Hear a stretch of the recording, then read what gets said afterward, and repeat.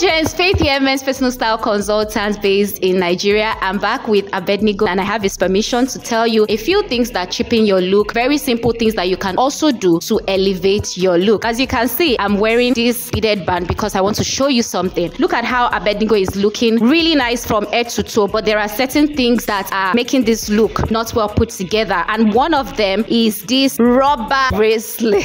And I see that a lot of people, I'm going to call you out, RCCG guys, yes, I'm calling you out. If you want to make your look go from 0 to 100, discard these ones or use those ones that come in black or brown that we cannot necessarily see. And you can also use this. You can add this to it and just take out this one. Another thing you need to note is the kind of jewelry that you are using for your outfit. Abednego is wearing a gold chain. It's hidden, but yeah, we can really see it. And his buttons are white. Then this other bracelet is silver. So anytime you are wearing your outfits, try to make sure that your metals are matching in terms of color. So if you're wearing gold, let your bracelet and anything that will be on your outfit be gold as well. Preferably, you can talk to your tailors to make sure that that outfit comes in a button that is kind of versatile. You can wear it with gold or you can wear it with silver. But if your button is in silver, try to make sure all the accessories you're wearing, the metals you're wearing, are in silver. And if it is gold, do the same as well. I hope you found this helpful. Thank you, Abednego. Thank you very much. Thank you so much. Bye.